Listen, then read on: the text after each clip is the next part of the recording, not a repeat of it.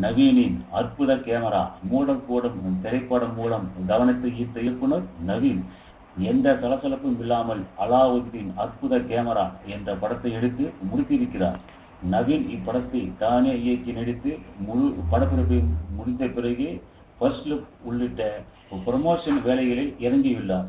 ஐரோப்பாவில் நிறைய காட்சிகள் படமாக்கப்பட்டு இந்த படத்தில் சாலை பயணம் சார்ந்த காட்சிகள் அதிகம் என்று கூறப்படுகிறது. குறிப்பாக நாயகி கயல் ஆனந்தி கதாபாத்திரம் தனித்து தெரியும் என்கிறார்கள். அது குறித்து நவீன் கூறும்போது ஐரோப்பிய சாலைகளில் கடுமையான விதிமுறைகள் உண்டு. ஆனால் அதை பெரும் சவாலாக ஏற்று கார் ஓட்டி அகற்றி இருக்கிறார் ஆனந்தி. இக்காட்சிகள் படத்தின் முக்கிய காட்சிகளாக இருக்கும் என்றார்.